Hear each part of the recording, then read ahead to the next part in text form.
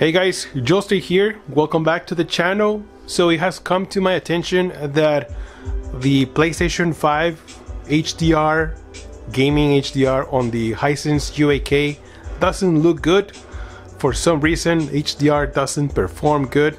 So I wanted to make a video with you guys and share my settings.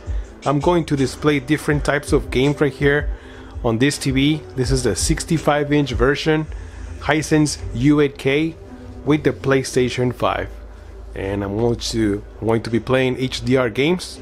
Here's Spider-Man, Miles Morales. Um, I'm sorry if my voice doesn't sound that good. I've been I've been very sick lately, but uh, I'm going to do my best so I can talk to you guys while playing on the PS5. So honestly, with the settings that I'm using, I feel like this game looks fantastic. It is very, very colorful, and the highlights are just amazing because this TV it gets very, very bright. So, this is Spider-Man Miles Morales. I'm using Performance RT, and I'm pretty sure that HDR is working right now. So, let's go into the the TV real quick. So let's go into the menu. And here it is what we have the FPS countdown. You can see it on the top left corner. So at 79 76 FPS and uh, we also have HDR turn on and VRR is turned on. Brightness is all the way to 100% and those are the basic settings that we have from this TV while gaming. And honestly I feel like it looks gorgeous but let's jump into another game that has more vibrant colors, right? Let's jump into another game right here. I mean, I'm recording this with a camera. Honestly, it, it doesn't it doesn't look the same as if you are in person, but I think it looks gorgeous. This game is running at 60 FPS, also with HDR. And look at that I feel like the colors in person look a little better than what you see in this video. Colors do stand out a lot, especially like greens and reds and blues. Well, in this case, greens. So let's jump into another game that is also, I think it looks fantastic. Um, Horizon Forbidden West. And look at this beautiful scenery. I mean, I, I honestly, I, I don't know what else to say to you guys, but it, the game looks gorgeous on this TV. I know in my previous video, I mostly showed uh, a gaming with the Xbox, but now this is just for the PS5. And these are the exclusive games from the PS5 that look amazing. So let me show you the settings that I'm using while gaming. Let's go into the menu real quick.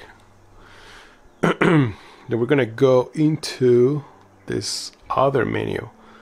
Picture, general. I'm using HDR game, all right? Make sure the automatic light sensor, this one is turned off. You gotta make sure that you turn this off, otherwise your TV brightness will depend on that. You wanna you wanna have full control of that.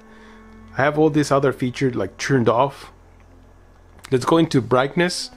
Local dimming, make sure this, this one is on high. You get the brightest picture, best contrast, black levels. So you can use your local dimming on high. It works with VRR.